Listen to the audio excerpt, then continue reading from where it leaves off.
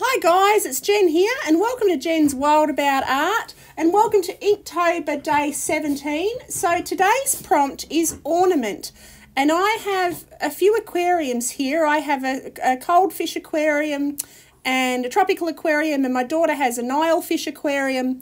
So um, yeah, we're right into our fish here and my fish are considered um, ornamental fish because they're unusual breeds and quite pretty to look at. They're not just your standard look, sort of standard goldfish. So I have a blue Oranda and I have uh, my Blackmore.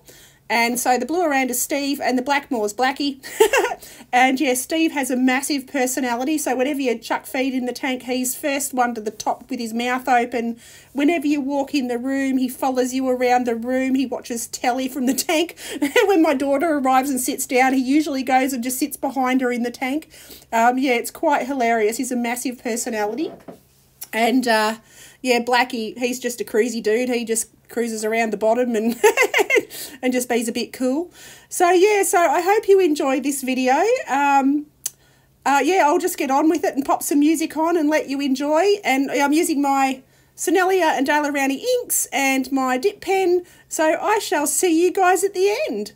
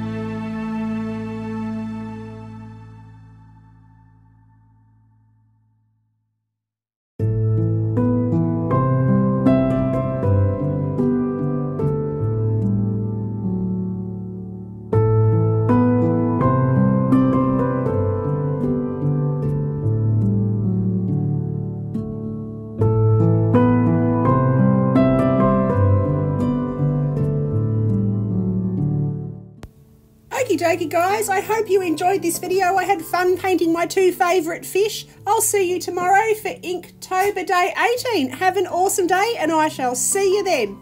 Okie dokie, bye.